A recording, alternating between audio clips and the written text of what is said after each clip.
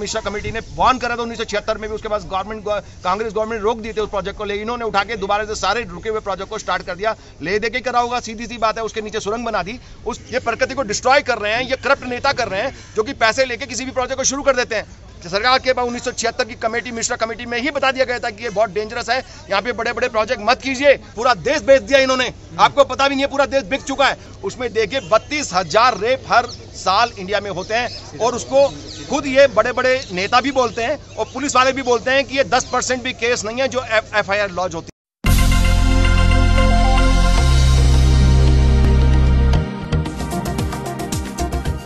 Sir, Uttarakhand में अभी जोशी मठ में प्राकृतिक आपदा के कारण जो है वहाँ पर सरकार ने आदेश किया है कि ज़मीनें खाली कर दी जाएँ और जो वहाँ के मकान हैं, होटलें हैं, उनको तोड़ने का आदेश कर दिया गया है। क्या कहना चाहेंगे आप? ये पहली चीज़ तो ये बता दूँ कि ये प्राकृतिक आपदा नहीं है, ये मैन मेड आपदा है। ये सरकार के द्वारा क्रिएट करी हुई आपदा है।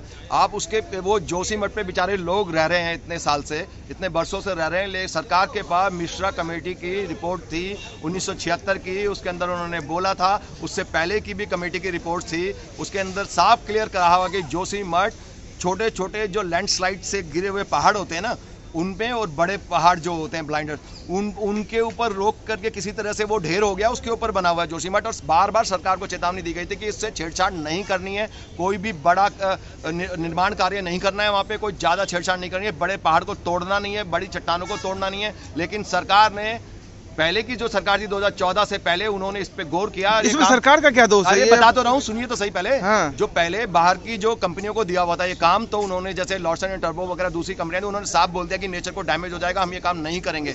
लेकिन उन्होंने क्या किया दो हज़ार चौदह के बाद में सारे मापदंड को साइड कर दिया गया। इन्वायरमेंट असेसमेंट जो जो असेसमेंट होता है इन्वायरमेंट के लिए प्रकृति के लिए जो असेसमेंट करा जाता है कि इसका कितना नुकसान हो सकता है, किसी भी प्रोजेक्ट का, समाज को कितना नुकसान हो सकता है, उस तमाम चीज़ों को, मापदंड को साइड में करके, इन्होंने 2014 के अंदर सारे मापदंड को खत्म करके, उसको ओके कर दिया उसको, जबकि वो बहुत डेंजरस था हाइड्रो इलेक्ट्रिक प्रोजेक्ट चल रहा है वहाँ पे, ठीक है? उसके नीचे उन्होंने सुरंग बना दी।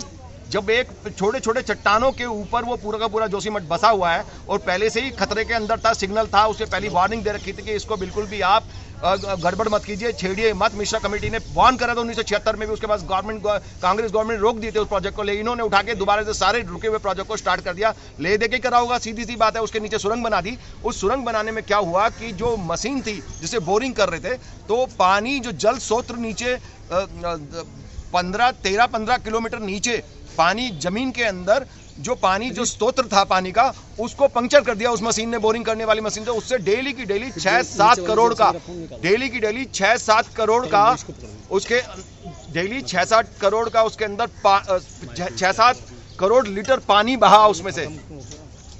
डेली की डेली उसमें से छह सात करोड़ लीटर पानी निकल निकल के वेस्ट होता रहा। सारा सोत्र पानी का खत्म हो गया। वो ज़मीन जितनी भी थी वो छोटे छोटे पत्थरों के ऊपर जोशीमठ बसा हुआ था, नीचे धस गया और उसकी दीवारें टूट गई और उसके बाद में मैं कल परसों भी बोल चुका हूँ इसके अंदर, मीडिया के अंदर ये बात कि सरकार इस बात को अलग से पेंट करेगी। कलर करके इस बात को गुमराह कर देगी कि ये तो प्राकृतिक आपदा है।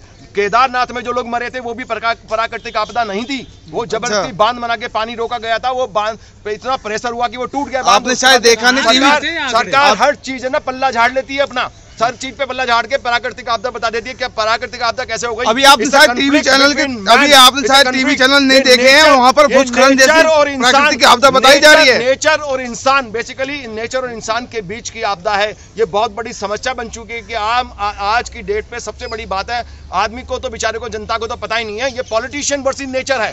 ये प्रकृति को डिस्ट्रॉय कर रहे हैं, ये करप्ट नेता कर रहे हैं, जो कि पैसे लेके किसी भी प्रोजेक्ट को शुरू कर देते हैं। उसके बाद में सत्यानाश होता है। केदारनाथ में पाँच हज़ार से ज़्यादा लोग मरे, इन्होंने कह दिया कुछ लोग मरे हैं और खत्म। आज भी उस ज़मीन को आप खुदाई करके देख लीजिए, भगवान केदारनाथ के चारों तरफ़ जो खुदाई करोगे लाशों के ढेर निकलेंगे उसके अंदर। ये सारा सेंसर कर दिया इन्होंने। और आज भी कह रहे हैं कि प्राकृतिक आपदा है। अब जब डूब गए लोग मर गए लोग बुरी हालत में हाकार मच गया वो लोग नारे लगा रहे हैं कि उनके घर गृहस्थी सब बर्बाद हो गए हैं। अब सरकार का डिसीज़न क्या अब जाके हेलीकॉप्टर से हेलीकॉप्टर से जाके वहाँ पे सर्वे कर रहे हैं। क्या सरकार के पास सूचना नहीं है? सरकार के पास उन्नीस सौ छिहत्तर की कमेटी मिश्रा कमेटी में ही बता दिया गया था कि ये बहुत डेंजरस है। यहाँ पे बड़े बड़े प्रोजेक्ट मत कीजिए। लेकिन जब बड़ी जितनी बड़ी खाईवाड़ी जितना बड़ा प्रोजेक्ट उतनी बड़ी खाईवाड़ी।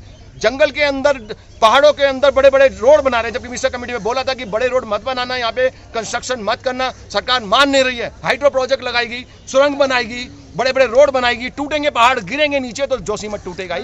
जोशीमठ ही नहीं हर जगह टूटेगी हिंदुस्तान के अंदर हाहाकार मचा हुआ है। आप केरल में जाइए केरल में जाइए आप केरल में जाइए ना आप केरल में जाइए मछुआरों की ज़मीन अड्डानी को दे दिए पूरा का पूरा जो जो कोस्टल एरिया है वो किसान वो जो जो मछुआरे बेचारे मछलियाँ पकड़ते थे समुद्र के किनारे वो सारा एरिया उन्होंने डेवलपमेंट करने के लिए और पोर्ट बनाने के लिए और अलग अलग कॉमर्शियल यूज़ के लिए अड्डानी को दे दिया। उसके बाद वो मछुआरे लगातार भूख हड़ताल कर रहे हैं तीन चार महीने हो गए उनको करते करते चिल्लाते हुए कोई सुन नहीं रहा, किसी मीडिया में नहीं आ रहा सोशल मीडिया के अंदर। अब मैं जाके बात बोल रहा हूँ, कहीं आपको पता लगा ये बात? नहीं पता लगा, क्योंकि सारा मेन स्ट्रीम मीडिया बिका हुआ है। मैं कहाँ से लाया क्या मैं गंदे शब्द भैया पढ़ा लिखा हूँ मैं। समझ गया? हाँ। मैं पढ़ा लिखा हूँ अच्छे से। तभी आप- बिल्कुल मैं रिसर्च स्कॉलर हूँ और मैं बहुत अच्छे से जानता हूँ देश में क्या हो रहा है। कि एक त्रासदी आई हाँ सच है। अगर मैं सुनो अगर ये आंकड़े अगर आपको झूठे लगते हैं तो गूगल कर लीजिए। हम्म। आपको मैं मैगजीन दिखा देता हूँ अखबार दिखाता हूँ मिश्रा मिश्रा कमेटी की रिपोर्ट उन्नीस सौ छिहत्तर की है या नहीं आप खुद सर्च कर लीजिए ना। मैं कोई झूठ बोलता हूँ तो उसको आप तर्क संगत बताइए कि गलत बोल रहा हूँ तो बताइए। हाँ बिल्कुल है। वो वो भी। बाँध बना रखा है ऊपर पानी को रोक रखा है फटेगा नहीं तो क्या होगा वो? सारा पानी गिरेगा तो सबको बहेगा ही सारा का सारा। नहीं मैं गलत बोल रहा हूँ तो आप रिसर्च कीजिए ना मेरे को झूठा ठहराइए। मैं तो भैया मैं फैक्ट्स के बाद फैक्ट्स विरोध करते हैं अरे मैं फैक्ट्स के ऊपर बात करता हूँ ये हो ही गलत रहा है पूरे देश के अंदर। जो नैरेटिव चल रहा है ना ये डेवलपमेंट के नाम पे विकास के नाम पे जो पीछे भ्रष्टाचार का नैरेटिव चल रहा है जो पर्दे के पीछे भ्रष्टाचार हुआ है दबादब दबादब और पन, 40 करोड़ का आदमी अड्डानी 2000 2015 में 40 करोड़ का आदमी था वो 10 लाख करोड़ का आदमी कैसे बन गया? सरकार को बताना चाहिए कैसे बना? पूरा देश बेच दिया इन्होंने। आपको पता भी नहीं है पूरा देश बिक चुका है। हर चीज़ बेच दी उन्होंने। जवाहरलाल नेहरू स्टेडियम भी। बेच देंगे अशोक होटल भी बेच देंगे सब कुछ प्राइवेट कर देंगे। जब इनके बस की नहीं है हर चीज़ प्राइवेट करते हैं इनसे पूछते हैं। कि भैया प्राइवेट क्यों कर रहे हैं? तो ये कहते हैं कि भैया ये तो सिख हो गए सिख कंपनी बन गई है कमाई घाटा हो रहा है इसमें इसलिए बेच दी। तो मुझे बताइए कि घाटे हुई हुई कंपनी अचानक इंडस्ट्रीज़ के बाद जाती है प्रॉफिट में कैसे जाती है? इसका मतलब है भारत सरकार को चलाना नहीं आता है। जब चलाना नहीं आता है ये बेकार निकम्मी सरकारें हैं बेकार भ्रष्ट नेता है तो रिजाइन करिए ना। आप रिजाइन करिए। दूसरे किसी को आने दीजिए सरकार दूसरी किसी और को चलाने दीजिए। और ये बात मैं सभी नेताओं के लिए बोल रहा हूँ चाहे बीजेपी सरकार हो चाहे कांग्रेस सरकार हो। अभी देख रहे हैं इतनी ये बहुरूपिया है। हैं। ये सारे नेता बहुरूपिया है। कोई सरदार बन जाता है कभी कोई दाढ़ी बढ़ा लेता है कोई चश्मा बढ़ा लेता है कोई ओम नमः शिवाय बोलता है कभी कभी ये कभी कभी ये जाके आपको दिवाली के दिन बेचारे सैनिकों को बेचारे भोले वाले सैनिकों को रसगुल्ले खिलाते हैं वो कहते हैं मेरे अच्छा, देश सैनिक सैनिक सैनिक के गा रहे दिवाली मना रहे सैनिक तो बेचारे भोले? वाले वो गा रहे मेरे देश की देश की धरती और प्रधानमंत्री जी हीरो बन के चश्मा लगा रेबन का चश्मा लगा के हीरो बन के ताली बजा रहे हैं वो क्यों बजा रहे हैं? जनता को बेवकूफ़ बना रहे हैं वो लोग। मोदी की छवि अभी- खराब कर रहे हैं अभी- हाँ राहुल गांधी की भी छवि खराब कर रहा हूँ। रुक जाओ राहुल गांधी ने क्या किया देख लिया दाढ़ी बढ़ा ली गरीबों के साथ फ़ोटो खींच लिए लोगों को बेवकूफ़ बना दिया कि हम जनता के साथ है। ये 2012 में वही करप्ट पार्टी है जिसको हमने इंडिया करप्शन के थ्रू हटाया था। और अभी आज क्या करा राहुल गांधी ने पता आपको? भारत जोड़ो यात्रा नहीं है ये बेवकूफ़ बनाने की यात्रा है। पूरा पैसा करप्ट सारे के सारे करप्ट लीडर जो है कांग्रेस के पैसा लगा रहे हैं इसके पीछे। और अभी आज क्या किया है इसने राहुल गांधी ने दाढ़ी बढ़ा के रुद्राक्ष की माला डाल ली। और बाबा बन गया लाल कलर का चोला पहन गया जिसको बीजेपी नहीं चाहिए चोरी करने में लगा हुआ है। जनता को बेवकूफ़ बनाने में लगा हुआ है। अभी उसको देख लीजिए उसको कुमार विश्वास को देख लीजिए। कल वो भगत सिंह बोल रहा था अपने आप को बाबा बन गया और रामायण का पाठ कर रहा है बैठ गया। भैया रामायण का तेरे मुँह से गंदा लग रहा है और तेरे को सात मिलियन लोग आप ये बताएँ पाँच मिलियन लोगों ने देख लिया। सब भ्रष्टाचार है सब पैसे के खरीदे हुए मिलेंगे सुन भी सर लेंगे। बोलिए बोलिए। लेंगे। मोदी जी से बीजेपी नहीं चाहिए कांग्रेस नहीं चाहिए तो फिर क्या चाहिए? तो। बीजेपी कांग्रेस आम आदमी पार्टी सब चोर है हम बताएँगे क्या चाहिए चाहिए क्या बताओ ना अब क्या बताएँ आपको? आपको पता नहीं जनता को समझ में नहीं आएगा जनता के सामने भ्रष्टाचार मोदी जी कोई चेहरा मोदी जी नहीं चाहिए। मोदी जी नहीं चाहिए कांग्रेस नहीं चाहिए चोर कोई नेता नहीं चाहिए जनता के तो लिए जितनी महँगाई हो रही है। बता दो आप। अरे एक ईमानदार नेता का नाम यही तो मैं कह रहा हूँ एक भी ईमानदार नेता का नाम बता दो आप नहीं बता पाओगे। क्या बिल्कुल सही बोल रहा हूँ। हूँ? है ही नहीं। आज- बीजेपी नहीं चाहिए आम आदमी पार्टी नहीं चाहिए आज की डेट पे कोई भी ईमानदार लीडर नहीं है। ये हमारे पत्रकार महोदय ने खुद ही बोल दिया कि एक भी लीडर ऐसा नहीं है जो ईमानदार हो जो देश की जनता के लिए काम करता हो।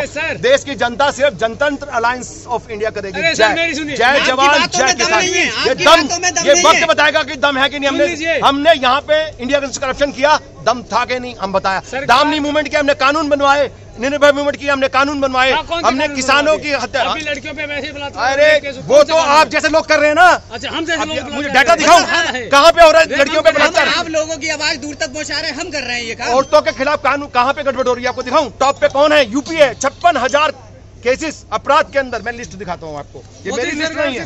ये मेरी लिस्ट नहीं है। ये लिस्ट उन लोगों के अखबारों की लिस्ट है। मोदी जी से इतनी नफरत क्यों है? मोदी से किसी भी बंदे से मेरे को पर्सनल कोई भी नफरत नहीं है। मैं आपको डाटा दिखाता हूँ उसके बाद बात है अरे रहने दीजिए बेकार की बात करें। पर्सनल मेरे को क्या लेना देना? किसी भी बंदे से गुजरात से उठा के ले आए तुम भारत वाले की जय बोलते हैं। गुजरात भारत से अरे छोड़िए। गुजरात भारत का हिस्सा कैसे नहीं होगा मैं बताऊँगा। भारत का हिस्सा कैसे नहीं होगा? गुजरात भारत का हिस्सा नहीं ये देश का क्या विकास है? ये देखिए ये अपराध महिलाओं के खिलाफ अपराध की लिस्ट देख लीजिए कितनी बुरी हालत के अंदर देश। ये देख लीजिए टॉप टेन के अंदर चार बीजेपी की स्टेट है, कांग्रेस की स्टेट है, और बाकी जो आप बोलते हैं ममता जी ममता जी का भी हाल देख लीजिए टीएमसी कौन से नंबर पे आ रहा है? ये सब के सब, सारे के सारे फ्रॉड है। वेस्ट वेस्ट बंगाल में पैंतीस हज़ार केसेस हर साल महिलाओं के खिलाफ अपराध के अंदर है। और मैं आपको आंकड़ा बता दूँ, बत्ती, आप गूगल कर लीजिए, मेरी बात मत मानिए गूगल कर लीजिए एनसीआरबी का आंकड़ा बता रहा हूँ नेशनल क्राइम ब्यूरो का आंकड़ा बता रहा हूँ मैं आपको। उसमें देखिए, बत्तीस हज़ार रेप हर साल इंडिया में होते हैं, और उसको खुद ये बड़े बड़े नेता भी बोलते हैं और पुलिस वाले भी बोलते हैं कि ये 10 परसेंट भी केस नहीं है जो एफ़ आई आर लॉन्च होती है उसके अंदर। एक मिनट मिनट बोलने दीजिए मुझे बोलने दीजिए। पहले मुझे बात खत्म करने दीजिए हैं नहीं नहीं आप बात काटिए मत पहले बात करने दीजिए। बत्तीस हज़ार को दस से गुना कीजिए कितना हो गया? तीन लाख बीस हज़ार रेप हर साल इंडिया में होते हैं। कितनी बुरी हालत है किस लोगों के होते हैं? क्या अडानी अंबानी के होते हैं क्या वो रेप? नहीं वो गरीब लोगों के होते हैं।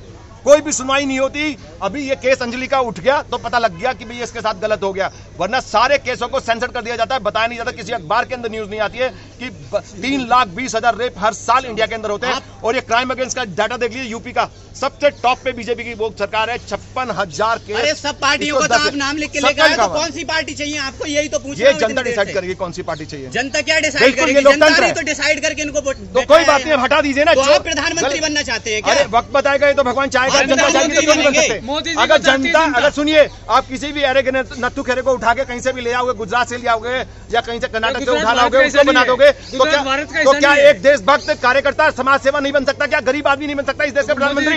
क्या मोदी शाही बनेंगे? चाय बेचते चाय ये मोदी शाही इंडस्ट्रीज़ बनेंगे। ये इंडस्ट्री ये गुजरात के गुजरात के ठगे हैं सारे के सारे। आप छोड़ दीजिए जनता के सेवक हैं जो जनता की सेवा कर रहे हैं। सेवा कर रहे हैं जनता का सेवा हुआ।